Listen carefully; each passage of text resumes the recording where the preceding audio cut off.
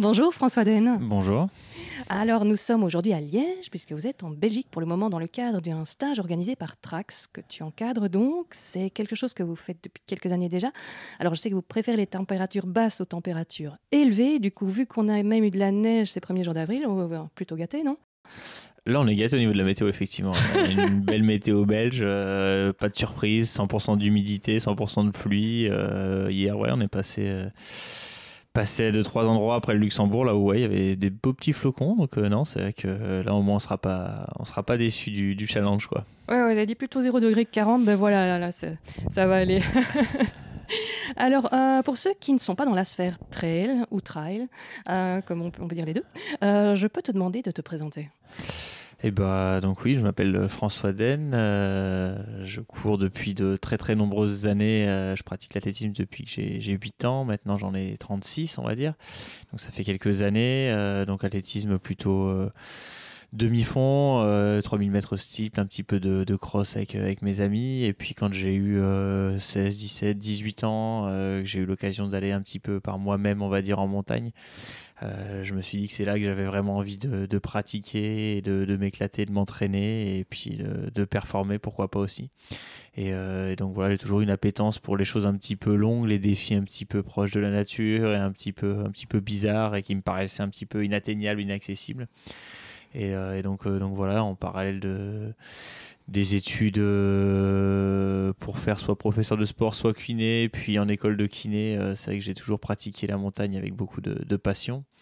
Euh, et, donc, euh, donc voilà, je me suis vraiment tourné vers, euh, vers la discipline longue et l'ultra trail il y a maintenant une quinzaine d'années, à partir de 2005-2006, on va dire.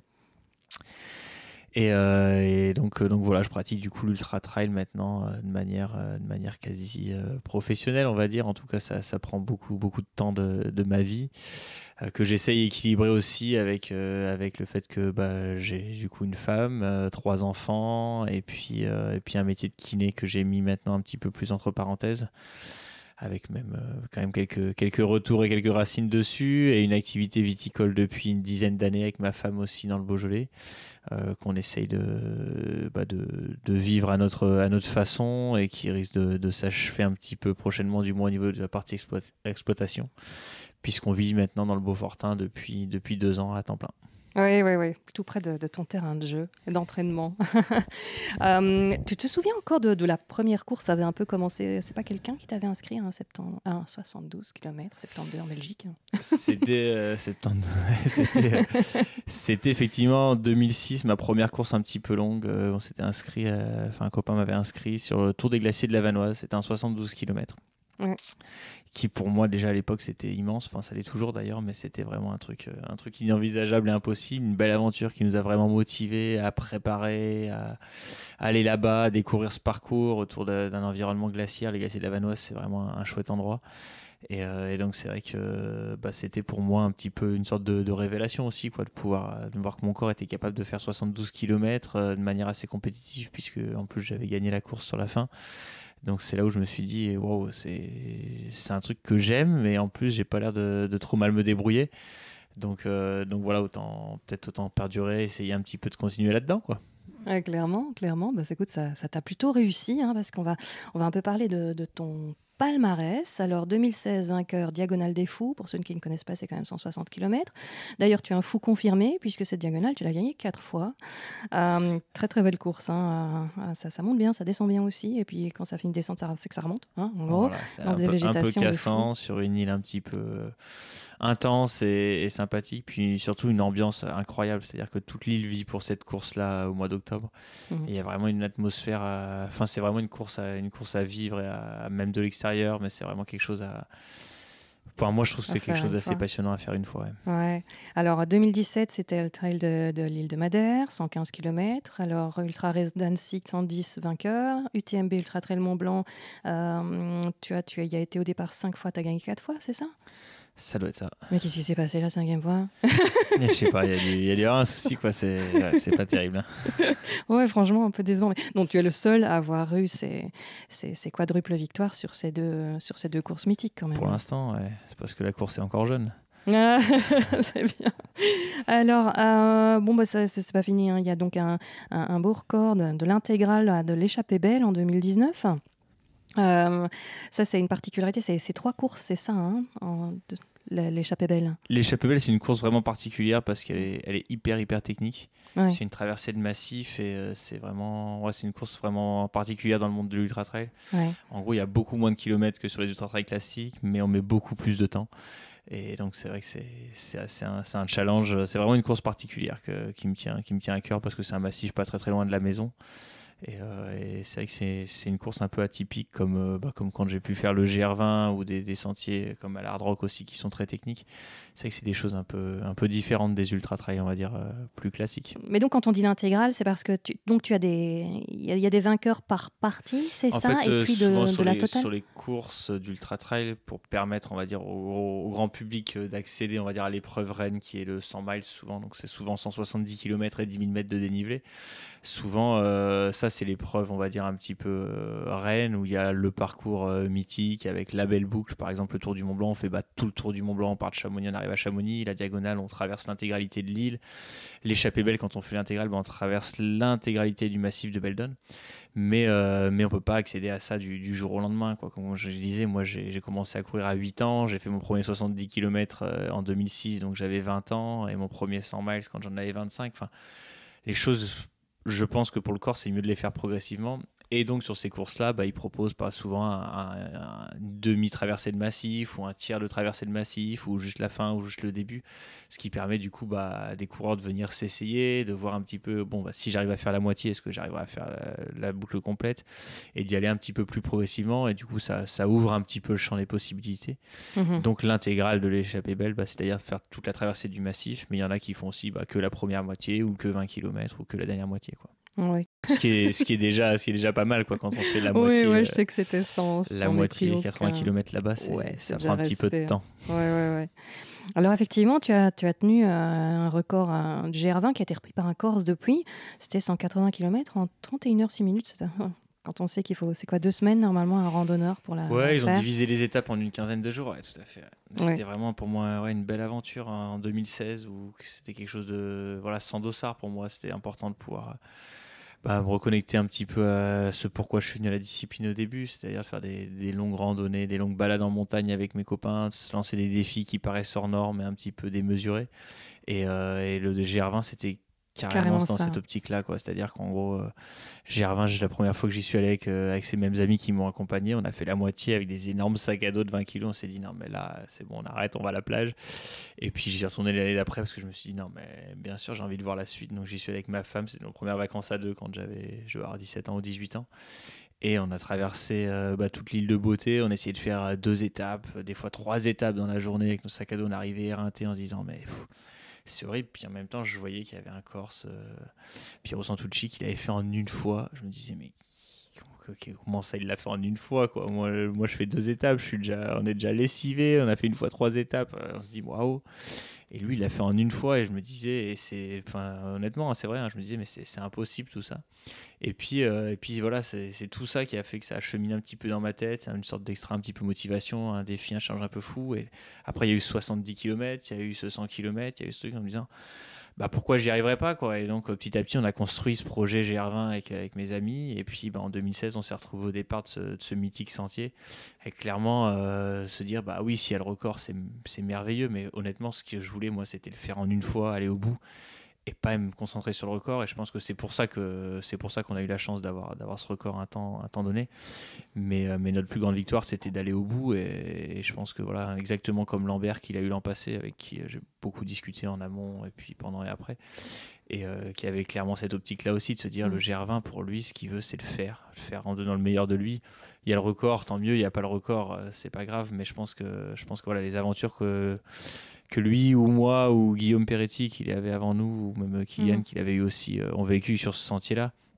C'est ça qu'on retiendra plutôt que, plutôt que notre chrono. Ah, c'est magnifique. Et, euh, et, puis c'est un sentier qui, ah, voilà, qui est partout dans le monde et reconnu comme étant un sentier qui est magnifique. et, et, voilà, et clairement, bah, c'est une belle connexion avec la nature. Oh, là pour le coup, oui, carrément. Alors, je vais terminer par encore un, beau record. C'est aux States. Donc, là, tu as gagné la, Hard Rock, 161 km en un temps record. C'est en 2021, c'est ça? L'an passé, oui. c'est ça. Puisque tu as amélioré le record d'une étonnante heure 43 minutes par rapport au record de, de Kylian Jornet, euh, que tu estimes beaucoup d'ailleurs. Et bah, c'est énorme comme différence. C'est quoi C'est le repos de, de, forcé de 2020 à cause de la pandémie, tu crois, qui, a, t'a permis de... Ça, doit être ça, ou alors peut-être que il s'était trompé ou non, j'en sais rien. en fait, c'est effectivement énorme. Après, des courses d'ultra, faut voir aussi que bah, y a on les gère de différentes manières. Chaque année, les conditions sont complètement différentes. Il y, a vraiment beaucoup, beaucoup de facteurs qui entrent en jeu. Euh, il y a aussi le fait de se dire, bah voilà, si, si Kylian avait une heure d'avance quand il a établi ses temps de référence, euh, le but du jeu le jour de la course, c'est quand même aussi pas potentiellement d'essayer de gagner la course, mhm. pas forcément d'essayer de, de, se détruire le plus possible pour, pour battre un record qui, qui, peut être intéressant. Mais, mais voilà, je pense que là, du coup, euh, l'an passé, j'avais des conditions qui étaient, qui étaient un petit peu réunies pour essayer de tenter de, de faire ce, ce record parce que j'avais un autre compétiteur, Dylan Bowman, qui était très très proche de moi derrière et qui nous a, qui m'a poussé un petit peu tout le long à aller un petit peu plus vite que prévu. Euh, ma petite fille Amandine, elle a, elle a une question pour toi euh, par rapport à cette course à hard rock parce que je lui en ai parlé un petit peu. Comment tu fais pour courir si haut? Voilà, parce qu'elle s'est bien rendu compte que courir aussi haut, ça doit pas être facile. Pourtant, elle n'a pas l'expérience vraiment de la haute altitude, mais elle a, bien compris que, quand même. Et eh ben, c'est effectivement très compliqué parce que, euh, parce que du coup, bah, je pense que voilà, euh, je sais pas si c'est celle qui a 7 ans ou 9 ans, c'est la plus petite. C'est la plus petite, voilà. Bon, j'ai mon fils qui a 7 ans aussi. C'est vrai que du coup, il commence à comprendre un petit peu tout ça, mais c'est vrai que c'est dur de se rendre compte qu'à qu'à Liège, à, je sais pas moi, 200 mètres ou 100 mètres d'altitude, on respire pas tout à fait pareil qu'à 1000 mètres, mais encore moins pareil qu'à 2000, qu'à 3000 ou qu'à 4000 mètres. Et l'hard rock, il y a 12 ou 13 passages à plus de 4000 mètres. Donc effectivement, en fait, à 4000 mètres, euh, à 4000 mètres, bah, c'est pas, pas facile de, de courir, c'est pas facile de respirer, c'est tout est un petit peu chamboulé. Même au niveau de la, de la digestion, pour manger, pour boire, c'est beaucoup plus dur, la bouche est beaucoup plus sèche. Au niveau de l'humidité, c'est un petit peu différent. Donc on a l'impression d'avoir tout le temps soif, mais sans arriver à boire, d'avoir tout le temps faim, mais sans arriver à mâcher. J'avais vu que tu, profitais des ravitaux euh, en, basse altitude à chaque fois pour essayer de gérer la hauteur. Tout à fait. Donc du coup, bah, ça nécessite quelque chose qu'on appelle l'acclimatation. je ne sais pas si elle, si elle connaît ce terme-là, mais en fait, l'acclimatation, ça veut dire habituer son corps, en gros, à fonctionner euh, dans un univers qui n'est pas tout à fait euh, celui dans lequel il a l'habitude d'être. Et donc là, le but du jeu, bah, c'est d'essayer d'aller un petit peu à 4000 mètres pour courir, de redescendre pour récupérer, ensuite d'aller un petit peu plus longtemps, ensuite peut-être même d'y dormir, ensuite d'essayer de faire les choses. Donc c'est pour ça que cette course-là, bah, dans l'idée déjà de, de, rentabiliser le voyage, j'essaie d'y aller un petit peu plus longtemps en avance. Et puis bah, du coup, pour cette course-là, je pense qu'il y a encore plus d'intérêt d'aller essayer de s'entraîner un, un peu plus longtemps en haut. Euh, et, donc voilà, et donc au début, bah, les deux, trois premiers jours, tu arrives là-bas, tu cours et tu te dis, mais c'est un enfer, c'est impossible, j'arrive pas du tout à courir, je suis essoufflé tout le temps.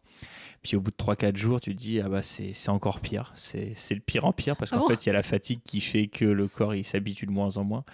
Et puis le cinquième jour, tu te dis, non, ben là, c'est impossible. En fait, j'y arriverai jamais, c'est pas possible.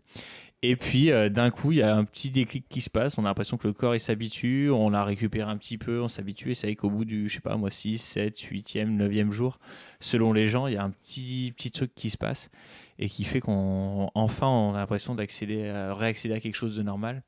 Et puis à la fin, euh, de la course, j'avoue, euh, il y a un peu le fait d'être dans la course, on se transcende un petit peu tout ça. Mais j'avoue que ça me fait même plus. Euh, j'ai même plus la sensation d'être à 1000 mètres, quoi. Je m'en rends presque même plus compte, quoi. J'arrive ah à courir presque normalement. Mais sauf le ravito, ça reste dur. Voilà, par contre, l'alimentation, puis au bout de 7-8 heures de course, tu sens quand même que que t'es pas comme, euh, comme d'habitude à 1000 ou à 2000 mètres. pas le long de la mer, non. ok. Euh, alors, est-ce qu'on a justement. Bon, oui, je... il y a certainement des choses que j'ai zappées. Je le sais, puisqu'il y a plus de 30 victoires au compteur, je crois, hein, et donc des, records, des quadruples victoires. Voilà. Euh, j'ai même pas encore parlé du John Weir, qui est pour les trailers qui écoutent ça, ça, ça, va leur dire quelque chose, mais, mais ça, bon, ça campe déjà bien le personnel. Et comme j'ai la chance de t'avoir en face de moi, puisque tu dis toi-même que c'est pas les premières places qui te motivent le plus, mais l'aventure que tu vis à chaque fois, tu me pardonneras les, les trous de gruyère dans ton CV. Avec plaisir. Ou, le trou des Mortenpental français, mais il y en a moins. Alors, est-ce qu'on a un peu l'impression dans ces cas-là qu'on la mérite, cette montagne, que, cette beauté, qu'on en paie le prix euh, quand, quand, on fait l'ultra trail hein? Bah oui, après moi, je, enfin la mériter, non, on mérite jamais vraiment la montagne. C'est plutôt Mm. une chance qu'on a d'y être et tout ça. Mais après moi, c'est vraiment vraiment comme ça que je la pratique. C'est-à-dire qu'en gros, je choisis mes courses. euh, c'est un peu l'excuse les courses, quoi. C'est-à-dire ah bah tiens, je me suis inscrit à telle ou telle course. euh, du coup, faut que j'aille m'entraîner. Donc faut que j'aille en montagne. Donc faut que j'aille m'habituer. Faut que j'aille, euh, faut que j'aille faire des longues journées dehors. Moi, c'est un petit peu comme ça que je le vis, quoi. C'est pas, c'est pas. Voilà, faut que je m'entraîne pour pouvoir être là le jour J de la course. C'est plutôt, euh, waouh, comment je pourrais faire pour passer plus de temps en montagne et m'entraîner et aller faire des trucs que j'aime. Et en fonction de ça, je choisis mes courses. Quoi. Donc là, là, le fait que l'hard rock, ce soit une course qui soit en altitude, sur un terrain un peu technique, un petit peu engagé, euh, bah, c'est parfait. Quoi. Je me dis, bon, bah, il, Ouais. faut, il, faut, il faut du coup que j'aille m'entraîner. euh, tiens, bonne excuse. Il faut que j'aille m'entraîner c'est, en haute montagne. Donc, euh, que j'aille faire un peu des sommets euh, euh, type Alpi en France, euh, jouer un petit peu dans la neige avec les glaciers. Il faut que j'aille jouer sur euh, du terrain technique. Ça tombe bien, j'en ai plein autour de la maison dans le Beaufortin, mais ça me force, euh, ça m'oblige à aller dehors. Bah, zut, alors, il faut que j'aille m'entraîner. Donc, euh, donc voilà, c'est vrai que sans dire que je la mérite, mais c'est vrai que pour moi, c'est l'excuse d'aller, d'aller jouer un petit peu dans cette montagne-là. Mhm. Et c'est, c'est pour moi ce que j'aime et ma passion, c'est-à-dire de passer des, voilà, ces longues journées euh, dehors à, à crapahuter, à chercher ses chemins, à jouer un petit peu avec les montagnes. Mm. Et après, ben, c'est que euh, voilà, on- quand on est le jour de la course, ben, bah, tant mieux, c'est, top. Mais, euh, mais c'est aussi grâce à, c'est grâce et pour euh, tous les entraînements qu'on a vécu en amont qu'on, qu'on est là, quoi. Ouais, moi, je, que je, je me suis peut-être mal exprimée. Je veux dire, euh, j'ai toujours un ami, le jour où on pourra aller euh, en téléphérique à l'Everest, il n'aura plus aucun intérêt. Je veux dire, ça- la montagne, la montagne, soit on la voit, soit on la vit. Tu vois ce que je veux dire? C'est plutôt ça, quand, quand tu la vis vraiment, enfin, quand tu vas à ce niveau d'intensité, est-ce que tu n'en profites pas euh, mille fois mieux? Enfin, ça n'a plus rien à voir avec le fait Bah voilà, le, le corps il fait un petit peu, il fait un peu corps justement avec avec cette montagne, avec ces sentiers, avec cette nature là. Donc en fait c'est aussi pour ça que je m'entraîne, c'est pour pour avoir ces sensations là en montagne, avoir cette liberté là de se dire waouh, là je suis en tel sommet. Putain, Celui derrière, il a l'air trop beau, j'ai envie d'y aller. Bah, allez, feu, on y va, quoi. Et il n'y a, pas- y a, pas- y a pas les limites, il n'y a plus de limites. C'est aussi pour ça que l'hiver, je fais. je fais- Enfin, je cours peu. Je cours pas parce qu'il y a de la neige et je fais du ski alpinisme, mais on a encore plus la chance de pouvoir voler d'un sommet à l'autre sommet, quoi. Parce qu'avec les skis, c'est plus doux. On descend d'une vallée, paf, on remonte de l'autre côté. Et des fois, je me fais même un peu avoir en me disant, waouh, là, je suis super loin de là où je suis parti, quoi. Donc maintenant, il va falloir rentrer, quoi. Mais juste parce que, waouh, ce vallon, il a l'air trop beau. Waouh, ce goulet, il a l'air top. Euh, tiens, si je descendais par là, là, une petite face nord, hop, je descends là. Puis là, ah ouais, mais là, du coup, il va falloir que je rentre et que je refasse tout ça, quoi. Et c'est pour ça que, voilà, aujourd'hui, moi, c'est ce que j'aime. Et ce que j'aime pas, c'est avoir des contraintes, des horaires, un sentier qui est prédéfini, qui est pré-tracé et tout ça. Et, et les courses, finalement, c'est un peu ça. C'est sans dire que je les aime pas, mais les courses, en fait, on sort pas des sentiers battus, quoi. Il y, y a une trace, faut suivre la trace, faut essayer d'aller le plus vite possible, faut essayer de faire la course un petit peu contre les autres. Finalement, quand je fais des longues journées tout seul en montagne, je, je suis libre, quoi. Je vais, je vais où je veux, quand je veux. euh, le seul stress que j'ai, c'est des fois, bah, il y, a- il y a des contraintes horaires, forcément, quand on a trois enfants et des choses comme ça, mais j'essaie de, les repousser un petit peu plus, j'essaie de tout faire en sorte pour que bah, y ait une certaine flexibilité sur ces horaires-là. Mhm. Et aujourd'hui, c'est c'est- voilà, c'est ça qui, qui m'anime. Tu dis qu'il faut toujours euh, rester humble face à l'ultra trail. hein. Alors l'humilité, c'est un mot qu'on entend souvent dans ta bouche. Est-ce que, bon, outre le fait que c'est un peu gonflant les gens qui se prennent le melon, mais qu'est-ce que ça permet euh, concrètement l'humilité quand, on aborde une course? Bah, pour moi, c'est un petit peu la base de, ma pratique et de ma façon de pratiquer. C'est-à-dire qu'en fait, si j'arrive sur une course en me disant waouh, je vais gagner, je vais exploser la course, ben, on est quasiment sûr d'être face à un échec derrière. Donc, c'est-à-dire qu'en gros, bah, il suffit que il suffit que le corps soit pas au rendez-vous ce jour-là, il suffit que la course elle puisse pas avoir lieu ce jour-là, il suffit que bah, y ait des gens plus forts que soi. Il y a plein plein de possibilités d'échec et forcément, bah, du coup, on s'offre la possibilité d'être déçu que bah, moi du coup j'ai pas du tout en- envie de cette optique là déjà. Je me dis que c'est une grande chance de pouvoir participer à cette course et que quoi qu'il arrive il faut, il faut voir que ce sera plutôt une, réussite, une réussite et d'en tirer les choses positives. Donc, euh, donc voilà quand je me mets au départ d'une course je me mets clairement et c'est vrai c'est en me disant waouh est-ce que je vais pouvoir aller au bout de ce défi là quoi? Et à courir 170 km 10 000 mètres de dénivelé en essayant de le faire le plus vite possible bah, c'est chaud quoi. C'est pour tout le monde c'est dur quoi. Pour le premier comme pour le dernier quoi. Et, et quand euh, c'est pour ça que je reviens rarement une course d'une année sur l'autre. C'est à dire qu'en fait si la course elle s'est super bien passée que tu gagnes que tu bats le record de l'épreuve l'année d'après tu y retournes tu te dis bah en fait pourquoi j'y arriverai pas quoi. Donc forcément tu, au fond de toi tu vas dire bah ouais j'ai réussi pourquoi je réussirais pas? Et, et du coup pour moi c'est pas c'est pas C'est pas bon l'attaque que j'ai envie d'avoir au départ de cette course là Ah. donc oui, je pense qu'il faut, il faut attaquer ça euh, en, étant, en ayant un peu d'humilité sur, euh, sur sa performance, sur ses capacités à soi, et aussi par rapport à la montagne, parce que, parce que le trail, c'est pas une course sur route, c'est pas de la piste, c'est pas un parcours euh, qu'on peut faire par tous les temps. C'est-à-dire qu'il y a des courses qui sont régulièrement annulées, régulièrement stoppées. En hiver encore plus, où on se dit, on ne peut pas se dire, bah tiens, je vais aller là-bas. Non, en fait, si, si, à un moment les conditions elles le permettent pas, s'il y a une corniche, il y a des avalanches, si le rejet n'est pas bon, si la météo on n'y voit rien, enfin voilà, il faut, il faut s'adapter en permanence. Et pour ça, il faut se dire que bah, la montagne, elle est toujours, euh, c'est toujours elle la plus forte, c'est toujours elle qui gagne. Donc en fait, euh, voilà, ok, j'espère aller faire ça, j'espère pouvoir faire ça, ça, ça ou ça. Maintenant, euh, maintenant, je vais, quoi qu'il arrive, m'adapter à la montagne pour faire corps avec elle, pour pas trop prendre de risques et pour essayer de revenir, revenir en entier avec le sourire. Ah oui, plutôt, c'est pas mal à la fin. Alors, euh, et après, pour, euh, pour la récupération, tu me disais que physiquement, bon, tu as la chance de, récupérer euh, assez vite. Ah non, je crois que c'est Christophe ici de Trax qui me le disait.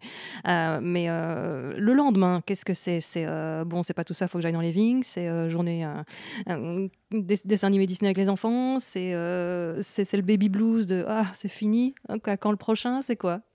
Il y a un peu de tout ça, y ait de tout ça. C'est vrai que oui, en fait, je sais que le lendemain, de, le lendemain d'une grande course, ben, ou d'un gros objectif, mais quel qu'il soit, que ce soit enfin que ce soit un objectif euh, professionnel, euh, que ce soit un objectif de vie, que ce soit un objectif, quoi qu'il arrive, il y a un avant et il y a un après, quoi. Et quand c'est un objectif qui nous tient à cœur, qu'on a préparé depuis longtemps, bah forcément, euh, derrière cet objectif, il y a un vide, il y a un creux. Quoi. le baby blues, ça exprime très bien tout à fait ça. Donc c'est vrai que moi, j'ai l'expérience de ça depuis 10-12 ans et j'aime bien en fait nourrir aussi mes après. J'ai besoin d'avoir quelque chose derrière et qu'au départ de la course, je me dis, bon, bah voilà, je suis là. Ok, c'est un énorme objectif pour moi. C'est quelque chose que j'ai préparé depuis longtemps, qui me tient à cœur, qui me motive depuis, euh, je sais pas, moi, tout l'hiver, toute l'année, deux ans, trois ans. Là, ça fait dix ans qu'ils rêvent de faire l'UTMB. Ils sont au départ de la course derrière qu'il a réussi ou qu'il a rate, ça fait 10 ans qu'ils attendent ça. Derrière, ils ont, s'ils n'ont rien prévu, c'est dur, quoi. Et donc, mm. moi, j'essaie de, faire en sorte d'avoir quelque chose derrière, quoi. Donc, c'est vrai que bah, souvent, par exemple, on parlait de l'UTMB et des vendanges. Souvent, en fait, derrière l'UTMB, voire même le lendemain, moi, j'avais, j'avais les vendanges, quoi. Ah, c'est cool. Et au départ de la course, ben, du coup, au départ de la course, tu te dis, bon, là, ça va peut-être bien se passer, ça va peut-être mal se passer. Il y a une pression présente, normale. Et d'ailleurs, il faut qu'il y ait cette pression, mais comment la tourner de manière positive en se disant, bon, bah voilà, si ça se passe bien, tant mieux. Si ça se passe mal, bah, derrière, ma vie, en fait, elle continue, quoi. Demain soir, que je sois champion du monde, que j'ai gagné l'UTMB ou pas gagné l'UTMB, demain soir, ben, c'est la rentrée pour les enfants. Donc, euh, je serai à 18h à la maison pour leur donner le bain, pour aller les coucher avec eux et euh, les emmener à l'école le lendemain. Euh, et voilà, et quoi qu'il arrive, ma vie, c'est ça. quoi. Mhm. Et donc, pour moi, c'est important. Il y en a, il y en a s'ils avaient ça, derrière, ils n'arriveraient pas à se concentrer, ça ferait trop de choses, tout ça. Donc, à chacun de trouver son équilibre et de remplir mhm. son après. Mais c'est vrai que moi, souvent, mes après sont très, très remplis parce que j'ai besoin de ça. Et, euh, et, ça me dérange pas de voilà, d'avoir des, des, objectifs qui sont pas forcément physiques derrière, mais qui vont remplir un petit peu ce côté moral là. Donc, donc oui, clairement, je passe du temps avec les enfants, pas derrière un Disney parce que parce qu'on n'a pas de télé à la maison, euh, mais puis, puis parce que ce qu'ils aiment c'est être dehors, mais, mais oui, euh, mais oui euh, clairement le lendemain, ouais, le, lendemain des grandes courses, souvent je vais faire un petit tour de vélo ou un petit truc avec eux. Alors les jambes elles sont pas contentes du tout, mais, mais la tête, elle, la tête elle est contente et puis eux ils sont contents aussi de partager ça avec nous. Quoi. Ah ben ça, c'est clair, parce qu'ils ont pas dû te voir beaucoup juste avant. Donc et alors bon tu as hum, donc tu pour la, vigne alors, hein, tu es tu as été neuf années vraiment vigneron, mais là tu as réémigré plutôt pour être à la montagne à temps Donc tu, gères encore le, vignoble de loin où il a été remis à de la famille, je sais plus. Ah, en fait, c'était un vignoble qu'on louait à la famille de, ma femme et qu'on exploitait en collaboration euh, du coup avec son cousin qui continue d'exploiter lui une partie du vignoble. Donc on faisait avec lui et puis avec un vigneron euh, qui avait les vignes avant nous qui continue aussi d'exploiter une partie. Donc on va dire qu'on continue d'avoir un, petit, un petit peu dans, pied dedans dans le vignoble. Après, nous, on n'exploite plus nous-mêmes en fait le vignoble. Mais, euh, mais voilà, on a arrêté depuis un an et demi maintenant et c'est qu'on essaie de faire des vins qui sont un petit peu à notre, à notre image, assez, avec un certain caractère, avec euh, voilà, une certaine, euh, certaine tradition, on va dire. Mhm. Et, euh, et, du coup, on les mettait en bouteille un petit peu plus long, un petit peu plus loin, on va dire, de la date des vendanges que, que certains. Et donc là, il nous reste des vins qui n'ont pas été mis en bouteille encore, pas mal même, des Beaujolais Village, des Moulins avant. Et mhm. donc, on va dire que l'aventure viticole aujourd'hui, elle continue plus en termes d'exploitation, mais elle continue en termes de, bah, de vente de nos vins, de projets, de monter le vin à pied dans des refuges, de créer des petits coffrets qui sont en rapport entre, entre la course à pied, le monde viticole et la famille, tout ça. Donc, on, va dire qu'on pour l'instant, on a encore vraiment un un bon pied dedans euh, dans, dans, le domaine et qu'on essaie de continuer à le faire vivre à travers de beaux projets. Mhm. Mais dans l'idée, oui, effectivement, ça fait maintenant bah, pile deux ans qu'on est, qu'on est à temps plein sur, euh, sur Arège, dans le Beaufortin. Mhm. Et, euh, et du coup, bah, que- qu'on a la chance de pouvoir, euh, surtout moi, d'être beaucoup, beaucoup moins sur les routes, d'être plus avec les enfants, de moins les changer aussi d'école à longueur d'année. Parce pesait, que, ouais. parce que Mhm. c'est vrai que tu as des enfants qui ont 7 et 9 ans, mais bah, t'imagines bien que les changer trois fois d'école par an, ça, c'est un déjà petit stress. changer, ouais, ça les stresse beaucoup. ouais, c'est vrai. Et donc voilà, puis bah, c'est avec moi aussi pour l'entraînement. Je vais pas, pas me cacher qu'en fait, euh, le pouvoir avoir un terrain de jeu en montagne et de pouvoir euh, voilà, partir de chez soi, que ce soit à ski ou à pied, ça, ça change la vie. Donc, euh, donc voilà, c'est vrai qu'on a trouvé une un certain calme, une certaine sérénité en montagne et, et c'est bien, agré- bien agréable. Ah bah, j'ai justement une question de Valentine, du coup, qui La plus grande. Oui, c'est ça, 9 ans. Comment tu as fait pour faire les deux métiers en même temps? Voilà, quand je lui ai dit que tu étais vigneron aussi. Ça, ça, ça l'a- ouais, elle était intriguée. Et bah, c'est un petit peu comme on disait, voilà, comme on disait tout à l'heure au niveau de, des après aussi. C'est-à-dire qu'en fait, le fait d'avoir euh, d'avoir une activité sociale et commune avec ma femme, déjà, c'est super important pour Ouais. nous d'avoir un projet commun. Mhm. C'est-à-dire qu'en gros, bah, que, que toute la, on va dire, la- l'activité de la famille repose pas autour de ma pratique sportive. Pour moi, c'était c'est important déjà rien qu'au niveau de la pression et puis au niveau aussi de l'équilibre dans le couple et dans la famille. Donc euh, c'est vrai que le, même le domaine viticole, il y a beaucoup beaucoup de choses que que je déléguais euh, plus que volontairement et, et nécessairement, mais euh, aussi par par, par besoin d'équilibre à ma, à ma femme. Et Mhm. donc, euh, donc, je lui laissais vraiment euh, la liberté sur, sur tout ça. Et puis, je pense que c'était super important aussi dans notre façon de commercialiser, de discuter avec les gens derrière. Et donc, c'est vrai que pour nous, ben, c'était même pas, pas forcément qu'un qu'un besoin financier, mais vraiment un besoin d'équilibre, de connexion avec la nature, aussi de découverte, de terroir, de projets communs, qui était clairement chronovage, énergivore, mais, euh, mais qui me faisait du bien moralement, et en tout cas qu'on qu'on ne regrette pas du tout. Et, euh, et donc voilà, pour l'instant, bah, c'est pour ça qu'on continue avec des projets euh, comme le fait de monter le vin à pied dans des refuges, qui sont clairement pas, pas Ah ouais, le cool. meilleur, la meilleure rentabilité économique et ni en termes de temps, mais ça par contre ressemble, qui, qui nous font, qui nous font vraiment plaisir parce que, parce que du coup on essaie de le monter avec des amis, on essaie de le monter en famille, on essaie de le monter à des refuges ou à des gens qu'on apprécie, qui partagent les mêmes valeurs que nous. On le monte à pied plutôt qu'en hélicoptère et on essaie de sensibiliser les gens là-dessus. On essaie de Ah, leur chouette, montrer que voilà, de boire une bouteille de vin au refuge quand on sait d'où il vient, comment il a été monté et qu'on l'apprécie avec des amis, bah, bah, c'est bien. Et que du coup, bah, de boire un verre de vin. Waouh, par rapport à un verre d'eau pétillante, et bah oui, peut-être que pour le corps c'est pas le mieux, mais si on le boit dans une certaine optique, d'une certaine façon, avec certaines personnes, dans un certain endroit, et, et bah ça peut peut-être nous faire beaucoup de bien et nous ouvrir sur plein de choses. Donc euh, voilà, nous Ah, puis c'est du gamay, hein, vous de, de faire, c'est du Je gamay. trouve que le gamet passe super bien. Ouais, c'est oui, euh, j'aime- il- beaucoup. euh, Il Enfin, c'est plaît plus beaucoup en Belgique aussi. Sur, C'est un cépage qui est vraiment sur le fruit, qui est très léger, dynamique. Puis on essaie Ouais, vraiment de faire des vins de- assez de caractère. Mhm. Donc voilà, de montrer aux gens qu'en fait, euh, bah, que ce soit un verre de vin, un verre de bière, un carré de chocolat, un café, ce qu'ils veulent, mais le fait de Un le boire dans un certain environnement là-haut, avec du plaisir, euh, face à la nature, avec des amis et, et en réfléchissant à la démarche d'avoir monté. Pour nous, c'est ça un peu le. Arrête, j'ai envie d'y aller, peu- C'est ça, un petit peu la, la chose qu'on a envie de pousser. Et donc voilà, pour souvent, c'est vrai que je pousse un petit peu le truc en disant Ouais, mais alors du coup, t'es sportif de haut niveau, euh, tu dis aux gens qu'il faut boire un coup, tout ça. Je dis Mais en fait, c'est pas, c'est pas le fait de boire un coup, ouais. voilà, c'est tout ce qu'il y a derrière aussi. Et, Mhm. puis, et puis moi, là, clairement, oui, j'aime bien, j'aime bien aussi boire un verre de vin, m'intéresser aux différents cépages. Quand je viens en Belgique, me dire Waouh, mais vous avez tant de types de bières différentes, enfin tout ça. Et j'aime m'intéresser à tout ça, mais ça peut être sur, ouais, sur le chocolat, sur le café, sur la bouffe. C'est vrai que On commence à avoir de belles méthodes champenoises en Belgique aussi. ça me plaît, ça me plaît, ça me plaît beaucoup et je pense que c'est c'est important. Donc voilà, c'est comme ça qu'on a pratiqué ces deux métiers-là parce que c'était passionnant, parce que c'était un projet commun qu'on avait tous les deux et qui nous tenait à cœur. Ah oui, oui, c'est effectivement, tu gardais les, les- les pieds dans la nature euh, tout le temps. Ça, c'est vrai que c'était le, le beau fil rouge entre, entre les deux. Et donc, c'est l'aventure n'est pas finie, se modifie, mais n'est pas finie. Euh, tu parles aussi que voilà, l'engouement pour le, le trail qui est en, en plein essor, c'est une bonne chose. Tu dis que les gens vont se tourner euh, vers la nature, vers l'écoute de leur corps, qui ont, les gens ont envie de se faire du bien, de se faire plaisir en dehors des sentiers battus. Donc ouais, c'est- ça te, ça te plaît aussi, je crois, hein, la, la mixité, on va dire, des, des, des pros, des non-pros dans le trail, et ça te fait plaisir de voir tous ces gens qui s'y mettent. hein? Bah oui, clairement. Après, euh, après, on peut voir le verre à moitié vide, on peut le ver- voir le verre à moitié plein. Il y en a plein qui disent oui, bah alors il y a plein de monde dans les sentiers, ça abîme les sentiers. Puis vous vous rendez compte, les gens se déplacent pour aller faire telle ou telle course, ils font ci, ils font ça. Ouais, tout à fait n'importe quel n'importe quel sport voilà puis ils vont acheter des baskets ça va pousser la consommation d'acheter ça ou ça avec tel équipementier tu as tel partenariat tu as des choses tu pousses les gens voilà, voilà clairement il y a plein d'aspects comme ça. Après on peut se dire aussi que, bah, que les gens du coup par rapport à d'autres disciplines sans en citer aucune, bah, finalement, ils vont se retrouver juste avec, euh, avec leurs pieds, leurs jambes et leurs baskets dans un sentier. Ils vont essayer de comprendre comment fonctionne leur corps, l'adapter à ça. C'est quand même quelque chose d'assez simple qu'on peut tous pratiquer depuis chez mmh. soi, euh, que ce soit sur la route, sur les chemins, sur les chemins montagneux ou pas.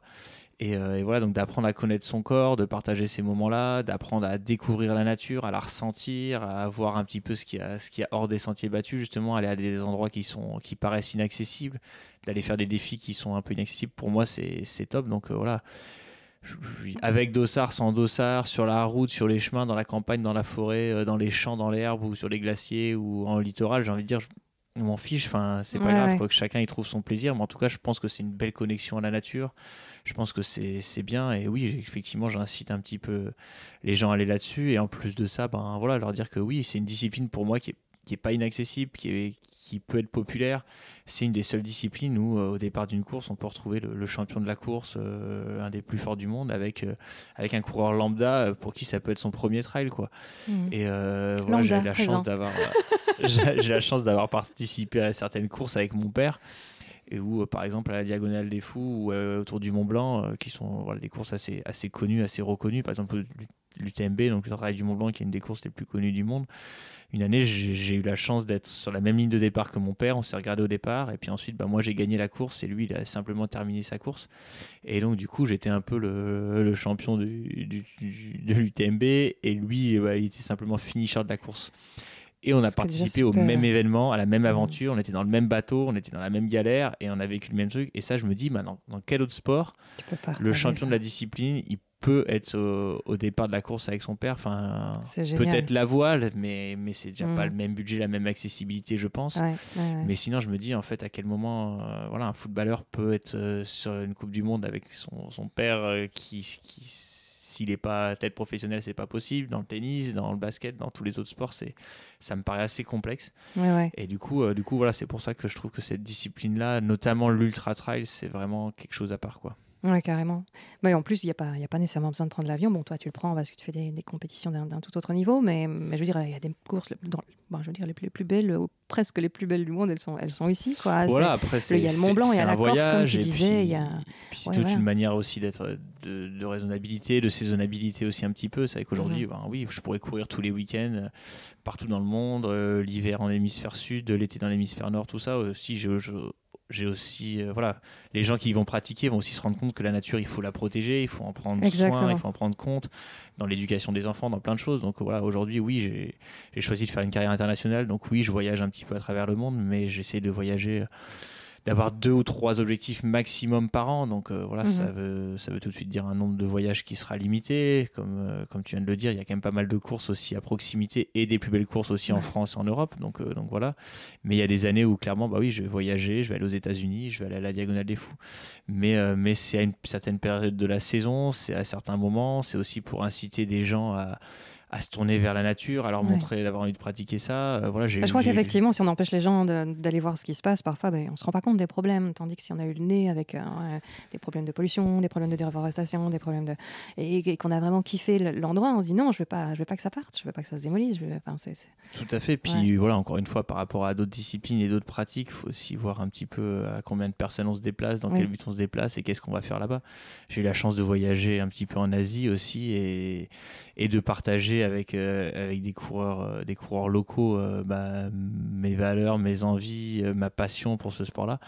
Et où clairement c'était peut-être jamais autorisé à s'imaginer se dire ah ouais on a le droit en fait de pratiquer de cette manière là avec du plaisir en loisir dans la montagne et se dire ah oui mais là si on court et que c'est Enfin voilà, juste de se dire, euh, oui, si on court dans des chemins et que les chemins sont sales ou pas entretenus, ça marche pas. Si c'est pollué mm. euh, là où on s'entraîne, ben, c'est pas bon pour le corps. Et, enfin, juste des prises de conscience que nous, on a parfois la chance d'avoir euh, dans nos pays au quotidien face à soi et du coup ça nous paraît évident mais euh, mais se dire aussi des fois bah ça peut être pas mal aussi de, voyager pour essayer de, de, partager un petit peu tout ça. Alors après on peut se dire bah oui sinon sinon on voyage pas on pratique pas il y a une empreinte. Mais si enfin quel est l'impact aussi positif de certains déplacements de certaines expériences? Ouais, c'était où ça en Asie quand tu as pu visiter ouais, j'ai eu la chance d'aller dans des grandes villes euh, voilà comme Pékin ou comme Shanghai mais aussi dans des endroits très très reculés euh, voilà à Shangri-La ou des choses comme ça, des, tout petits villages à plus de 4000 mètres d'altitude, euh, où, voilà, où les gens, euh, quand ils nous voient, ils courent, ils se disent Mais pourquoi ils courent quoi On n'a déjà pas assez à faire, enfin, mais même en France, hein, j'ai la chance mm. d'habiter dans les Cévennes où voilà, les gens me disent Mais mais là, du coup, tu cours 7, 8 heures, tu t'entraînes tous les jours, tout ça. Mais, mais, mais voilà, tu es déjà passé fatigué avec ton métier, avec tout ce qu'on a à faire dehors, tout ça. Et, et c'est vrai que bah, du coup, voilà, dire aux gens, euh, voilà, c'est une autre manière de, de, se fatiguer, de se reconnecter à la nature, d'être plus efficace ensuite dans son travail, dans sa famille, dans tout ça. Mais il y a des endroits partout dans le monde, et même en France, où, où la pratique loisir du sport, elle est même pas au bout du jour. Quoi. Ouais, ouais, ouais, Donc c'est, c'est clairement, c'est là où on se dit quand même qu'on a qu'on a une grande chance, il faut essayer de la vivre, essayer de ne pas, pas, faire n'importe quoi avec ça aussi. Ah, tu disais justement que les, les ultra longues distances, euh, ça laisse place à autre chose que la, la, compétition, que les formats courts sont plus axés compétition. Il y a autre chose qui se passe dans, dans les ultra longues distances. Ça laisse place à quoi? Bah oui, pour moi, en fait, euh, quand on court plutôt du coup, enfin des, courses qui sont très courtes où euh, voilà, il y a un challenge qui est un petit peu autre, même sur, euh, j'ai pratiqué l'athlétisme, la course sur route, tout ça, c'est vrai qu'il y a quand même un défi de quel temps je vais mettre, est-ce que je vais faire devant un tel ou un tel, quelle place je vais faire. pour moi, quand on s'inscrit sur une ultra longue distance, bah, le but c'est d'aller au bout, quoi d'essayer de voir comment son corps va s'adapter aux contraintes météo, aux contraintes de dénivelé, aux contraintes de temps et de se dire waouh, tout ce que je veux, moi, c'est finir cette aventure, aller au bout de l'aventure. Donc pour moi, c'est déjà pas du tout la même optique, quoi. Et mhm. clairement, euh, aujourd'hui, bah, la plupart des athlètes avec qui j'en discute, euh, quand on va sur une course, waouh, tu vas faire l'UTMB, ouais, moi aussi, bon, bah, on fera l'UTMB ensemble. En fait, on va pas faire l'UTMB l'un contre l'autre, quoi. C'est vrai que souvent, bah, les médias spécialisés, euh, le grand public, c'est waouh, il va y avoir un match, François, il va courir contre Kylian dont on parlait tout à l'heure, waouh, ils vont se retrouver, ça fait, 4 ans qu'ils ne s'est pas retrouvé tout. Et je pense que Kylian comme moi, oui, ok, on est content de se retrouver, on sait qu'il va y avoir un petit jeu de concurrence, qu'on va faire la course l'un contre l'autre, mais surtout, en fait, on va aller faire la même course ensemble, s'adapter au mieux face à cette course-là. Et après, bah, si ce jour-là, on est tous les deux en forme et qu'on peut un peu se tirer la bourre et jouer à savoir qui c'est qui arrivera en premier, tant mieux. Mhm. Mais c'est pas l'essence initiale, euh, en tout cas moi, de la façon dont je vois ma discipline. Quoi. Ouais, ouais, ouais, c'est plutôt l'aventure que le classement. Voilà. Ouais, ça, je trouve ça génial. Et alors, euh, voilà, as, euh, dans les courses, il y a des amis du, podcast Ouf, podcast qui est vraiment axé trail, qui demandaient est-ce que tu envisagerais un jour de faire quelque chose comme l'Infinity Trail? Puisque ça, tu peux faire la distance aussi longue que tu veux, mais Bon, c'est les boucles, hein. Ça t'intéresse d'essayer une fois ce genre de format Je suis pas très très boucle justement. C'est vrai que bah, l'aventure pour moi, il faut qu'elle me, qu'elle me motive, qu'elle me prenne un petit peu au fond de moi. Et c'est vrai que les premières grandes courses que j'ai faites, c'est parce que euh, le parcours, il faisait un peu effet waouh quoi. Mmh. Quand je, suis allé faire le GR20, euh, clairement, j'y allais pas pour le record, j'y allais parce que le GR20, c'était waouh, faire ça en une fois, c'est top quoi. Mmh. Et donc faire une boucle euh, un nombre de fois incalculable possible, finalement là, on, on, va, on va avoir un petit truc qui me plaît, c'est-à-dire comment le corps peut s'adapter, comment le corps peut courir aussi longtemps, comment il peut s'adapter à ce parcours-là, s'adapter à la course, essayer de reposer. Enfin, il y a tout un jeu qui est, qui est top, que j'aime beaucoup. Par contre, l'aspect euh, effet waouh du parcours, euh, la boucle à faire, euh, le côté je repasse jamais au même endroit, le côté mm. qu'est-ce qu'il y a derrière cette montagne-là, comment je vais pouvoir dompter ça, c'est un parcours mythique qui me fascine et tout. Il y est pas, quoi. Mm-hmm. Donc, donc voilà, il manque une grosse, grosse composante pour moi. Il y a un petit truc qui est un peu marrant, qui peut servir pour moi de challenge, tout ça. Mais clairement, pour l'instant, c'est pas le, genre de course qui me font, qui me font rêver. Les, moments qui, qui, font justement toute la saveur du trail pour toi, c'est la nuit, juste ton souffle et pas de bruit, c'est le lever du soleil en courant sur une crête ou un, village, un visage familier le long du parcours bah les, trois les trois font partie de la composante euh, les trois font partie de la composante clairement. Après après c'est vrai que bah pour le coup moi j'aime les trois quoi. C'est vrai que c'est là où je me rends compte que c'est peut-être ça qui fait la différence sur Stars Ultra c'est qu'il y en a le fait d'être la nuit tout seul sur un chemin juste avec son souffle il y en a pour qui c'est angoissant et stressant moi, c'est un moment que j'attends comme celui de croiser un visage familier sur le bord de la route quand je sais qu'il y a mes enfants qui seront à tel ou tel endroit, tel endroit, ça me motive. Et ça me motive de partager ça avec eux. Le fait de se dire, waouh, à quel moment le soleil va se lever, je serai à tel endroit, ça va être super beau, il y a une luminosité, il y a une ambiance spéciale, c'est des moments que j'attends. Mais le fait d'être tout seul dans la nuit, perdu, même s'il y a du vent qu'on voit pas à deux mètres, qu'il faut se challenger, c'est un moment que j'attends aussi. quoi. Mhm. Et, voilà, je pense qu'il y a un peu de tout ça ouais, pour moi. Ouais, ouais, ouais c'est un super beau moment. la réussite dont tu es le plus fier? Je ne sais pas si c'est en sport ou en tout, mais c'est peut-être d'arriver justement à mener un petit peu, un petit peu tout ça de front. Et c'est avec des projets off où je me retrouve avec, euh, avec ma famille et que j'arrive à les partager, c'est, c'est des fois plus important que des, des grandes courses que j'ai gagnées, mais où j'étais tout seul. Quoi. Génial. Un échec qui, qui t'a beaucoup appris? Euh, Oui, bah, la, première, euh, la première fois justement que j'ai participé au Tour du Mont Blanc et, mmh. et où du coup bah, j'ai, abandonné à une trentaine de kilomètres de l'arrivée. Mmh. Et, et, voilà, c'était ça m'a permis de me rendre compte en fait de la place qu'il fallait que je donne à ma discipline euh, au sein de ma vie familiale et de mon équilibre. Et je pense que c'est grâce à cet échec que derrière j'ai pu, j'ai pu continuer à, enfin j'ai pu modifier ma façon de voir la discipline et l'importance de celle-ci et donc euh, d'avoir peut-être la, la, réussite que j'ai eu derrière. Et une citation que tu aimes, hein, qui, te, qui te motive? Qui me motive ou que j'aime, c'est non, c'est juste euh, voilà, euh, peut-être de se rendre compte de, de, la place du, de la place du sport dans, dans, sa vie, que ça reste, que ça reste quand même euh, quelque chose de, qui doit être de l'ordre du plaisir et secondaire par rapport à d'autres aspects.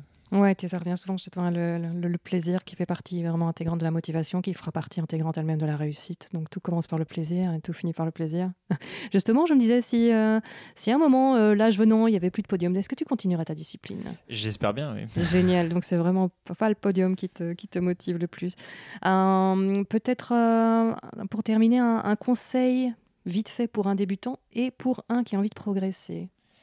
Bah, je pense qu'on continue de progresser euh, toujours. C'est-à-dire que même moi, même moi, je continue de progresser malgré l'âge, euh, parce que justement, c'est une discipline à part qui, qui est pour moi, euh, qui est pour moi, voilà, ce sera peut-être plus conseil pour les débutants. Qui, rien n'est impossible, rien n'est inaccessible. Il faut juste se donner le temps et les moyens d'y arriver, mais de se dire, voilà, en gros, faut pas être, faut pas être trop gourmand et trop pressé non plus. Et souvent, j'aime à rappeler que, voilà, moi, je pratique depuis l'âge de 8 ans et mon premier ultra trail, je l'ai fait à 20 ans. Euh, et, donc voilà, il m'a fallu 12 ans euh, de pratique assez intensive et, peut-être avec certaines capacités, puisqu'aujourd'hui j'ai quand même gagné quelques trails, pour arriver à à peu près dompter euh, un, ultra. Mhm. Donc aujourd'hui, voilà, les gens qui me disent ouais, j'ai attaqué à courir l'an passé, là je voudrais faire un ultra cette année. Et j'ai peur de pas y arriver. Ben ouais, c'est même possible. Moi, il m'a fallu 12 ans pour arriver à en faire un. Donc, donc, donc voilà, oui, effectivement, prendre le temps, mais de se dire que qu'en gros la quête, euh, la quête vaut, le coup parce que derrière on va, découvrir des choses sur soi, sur la nature, sur les parcours et que, c'est un voyage euh, à la fois intérieur et extérieur qui, qui pour moi vaut le coup d'être vécu. Quoi. ouais. Donc un débutant, être patient et quelqu'un qui a envie de progresser, ne jamais oublier euh, le plaisir. Oui, et puis qu'il y a toujours, de, il y a toujours des, défis autres à sa portée et que jamais, jamais, jamais c'est fini. D'accord. Euh, en 2022, est-ce qu'il y aura des, compétitions sur lesquelles on pourra te retrouver? Enfin, des courses, des parcours Oui, bah, du coup, je vais aller, je vais aller à la Hard Rock aux États-Unis euh, parce que voilà, c'est un peu l'ambiance de cette course-là. C'est-à-dire quand, quand, on gagne, on est réinvité euh, l'année d'après à tenter le, même challenge, mais dans l'autre sens. Ah Et donc, c'est un peu la spécificité de cette course-là. Donc, je vais y retourner parce que c'est vraiment une atmosphère, une course un peu particulière et sympa. Il y a que 160 coureurs au départ. C'est vraiment un lieu que, voilà, que j'ai envie de, de, connaître plus, plus précisément et profondément, et puis une communauté assez, assez sympa. Sympa apparemment, ouais. Et puis je retournerai à la, à la diagonale euh, au mois d'octobre parce que voilà, ça fait 5 ans ou 6 ans que j'ai pas été et c'est vrai que voilà, c'est une course qui me tient à cœur, que j'ai envie de j'ai envie d'approfondir un petit peu mes capacités dessus et de voir un petit peu comment comment essayer de faire une course pleine là-bas. Ok, là tu es en plein stage avec Trax, donc ici pas loin de Liège. Euh, tu animes euh, plusieurs stages comme ça par an en France, en Belgique, pour ceux qui voudraient profiter de tes conseils? Un, petit peu, ouais, j'en ai, je sais pas moi, 3, 4, 5, soit des journées, soit des stages de 2-3 jours, euh, voilà, à différents endroits, dans vraiment des ambiances différentes. Donc ça peut aller de, de la Bretagne aux Pyrénées, au Beaufortin évidemment, et à la Belgique. Et mmh. l'idée, voilà, c'est de partager des moments euh, en, en, toute convivialité. Donc c'est vrai que voilà, aujourd'hui, je cherche pas forcément à, faire des, millions de stages, mais c'est vrai que les stages auxquels je participe, j'essaie de les, de les faire avec du cœur, de l'envie, de la motivation. Et la Belgique, ça doit faire 5, 6 ans peut-être que je viens. Et c'est vrai qu'aujourd'hui, avec, euh, avec Trax et toute son équipe, et puis Christophe, on essaie de faire, euh, de se renouveler tous les ans, de proposer des choses un petit peu innovantes et particulières et de partager l'expérience. L'idée, c'est de montrer aux gens que voilà, en, habitant en Belgique, on peut très bien préparer des trails alpins et puis de partager un petit peu quelques conseils, quelques expériences euh, en toute convivialité. Ok, super. On peut te suivre quelque part sur euh, ton actu, sur les réseaux sur, Oui, moi j'ai des réseaux sociaux euh, classiques, un petit peu comme tout le monde. Insta, une Facebook page Instagram, une page Facebook. On cherche sur ton nom Voilà, j'essaie de faire quelques petites vidéos de temps en temps en donnant des conseils et puis quelques petites ah, interviews comme, on, comme on fait là. On train de faire. Un grand merci. Est-ce qu'il y a une question que tu aurais voulu que je te pose et que je ne t'ai pas posée? Non, non, euh, c'était, c'est parfait. C'était, voilà, c'est peut-être moi j'ai une question à te poser, hein, savoir un petit peu, toi, comment tu, tu, pratiques cette discipline, dans quel but et, et avec quelle, euh, quelle motivation, quelle place elle a dans ta, dans, ta, dans ta vie de tous les jours? Alors moi, à la base, je suis une nageuse. Hein. Euh, j'ai dû me mettre plutôt à courir avec le confinement et je supporte pas la route. Je trouve que c'est beaucoup plus doux pour les articulations. Et puis moi, j'ai, toujours été en nature. Enfin, j'ai, un bois juste derrière chez moi. J'avais souvent observé les, chevreuils, les cervidés, les sangliers, etc. Et donc pour moi, ouais, la, partie découverte, c'est ça qui me motive aussi. Voilà.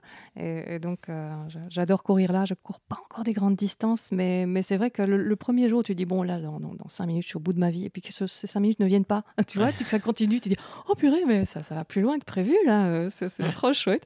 Et puis quand, quand tout à coup il y a, un, cerf qui déboule juste à côté de toi ou quoi, là, tu dis euh, je suis à ma place quoi. Dans la piscine, il y a moins souvent des. Il y en a moins. Des, des cerfs ou des tons qui se baladent quoi.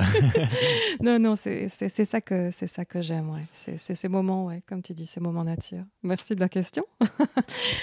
eh bien, euh, bonne continuation alors avec les stages. Merci beaucoup.